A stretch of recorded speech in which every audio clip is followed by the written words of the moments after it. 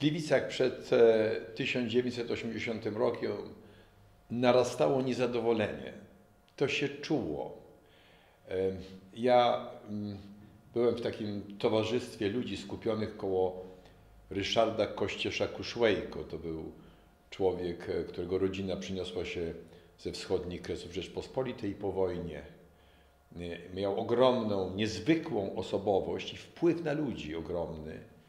I było nas tam sto, sto kilkadziesiąt osób, spotykaliśmy się. To były również towarzyskie spotkania, zakrapiane alkoholem, ale to było wyraźnie takie środowisko, które kontestowało sytuację w naszym kraju. E, I jak pojawił się ktoś o nieco innych poglądach, a nawet członek partii, to był uważany za cenny nabytek, bo tam już nie było z kim o czymkolwiek rozmawiać. Wszyscyśmy się zgadzali i jakby cieszyliśmy się, oczywiście w tym była kpina, że jest ktoś, kto ma nieco inne poglądy. A więc to było jednak mocny sprzeciw przeciwko istniejącemu systemowi.